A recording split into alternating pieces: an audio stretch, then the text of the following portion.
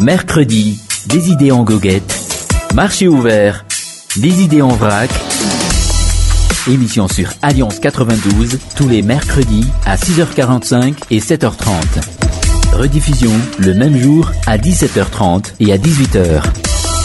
Premier marché des idées en goguette pour ce mois de novembre et bien que la pluie fait un peu la sa sienne, ici on dit tout simplement comme neige au soleil, le contradictoire donc s'enflammer sur une éventuelle révolution de chou-fleur. Ah, c'était peut-être aller trop vite en besogne, mais la mayonnaise n'a pas pris. Le collectif a essayé de rameter les syndicats sans grand succès puis essayer de passer par les syndicats, mais le mouvement n'a toujours euh, pas pris. Il n'y avait désormais plus le choix que de jouer sur le terrain de la provocation pour euh, montrer qu'ils existent. En l'occurrence, tenter le forcing pour occuper la place du 13 mai et croiser les doigts qu'il est affrontement, des blessés, voire même des morts. Mais que l'on ne s'y trompe pas, contrairement aux motifs invoqués. Il n'est plus question de liberté d'expression, cela, ils l'ont pu en jouir allègrement du côté du Coliseum d'Antsuzube.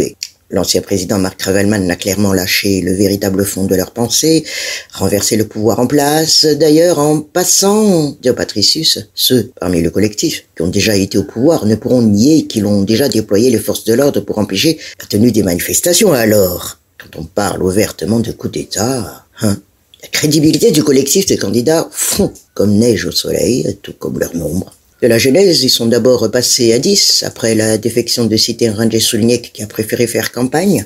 Les bases de leur argument tombent une à une comme un château de cartes.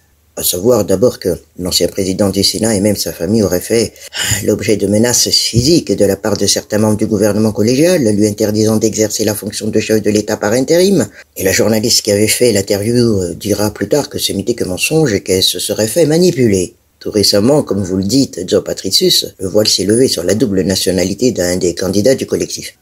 Ses partisans auront beau le défendre en invoquant inlassablement naturalisation et filiation. Aucun distinguo, ni dit ni fait, fait mention nulle part dans leur fameux euh, Faites ce que je dis, pas ce que je fais, Joe Patricius. La réalité est que le mouvement n'a pas le soutien de la population parce que beaucoup ne croient pas vraiment en la sincérité de la démarche. Au sein même de ce collectif, certains se sont déjà coquinés avec certains, d'autres ont justement déjà tenté de renverser un tel. Le fait d'avoir échoué à présenter un candidat unique qui aurait été euh, logique, du moins, hein, d'après le communiqué des mortels, renforce d'autant plus l'idée qu'il s'agit plus alors d'accéder au pouvoir en s'alliant contre un adversaire commun que de réelles convictions d'œuvrer pour l'intérêt de la nation. Et que cela ne tienne, l'échéance du 16 novembre est proche et rien ne semble à même de pouvoir le reporter. Et euh, le processus électoral est effectivement en marche malgré les gesticulations politiques.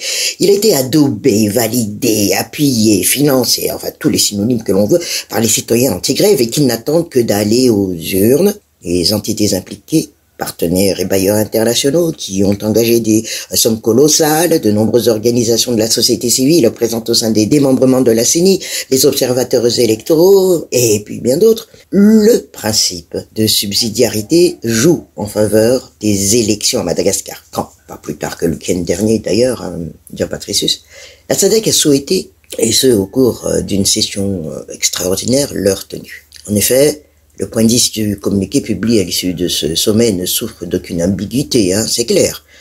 Le sommet a fait part de ses vœux de paix et de succès à la République de Madagascar et la République démocratique du Congo, car ces deux États membres de la SADC tiennent leurs élections en novembre et décembre de cette année, et a retiré le soutien de la SADC par le biais du déploiement, la mission d'observation électorale de la SADC. En fait, le collectif de candidats espérait un appui inconditionnel de la part de l'Union africaine.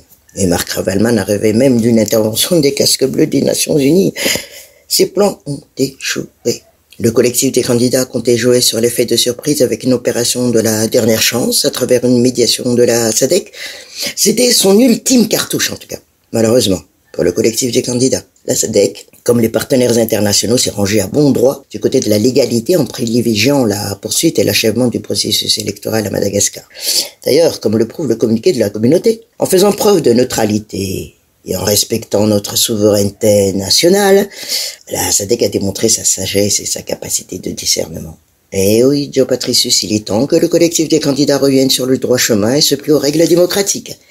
En démocratie, dans un État républicain, le pouvoir se gagne par les élections. Mercredi, des idées en goguette. Marché ouvert, des idées en vrac.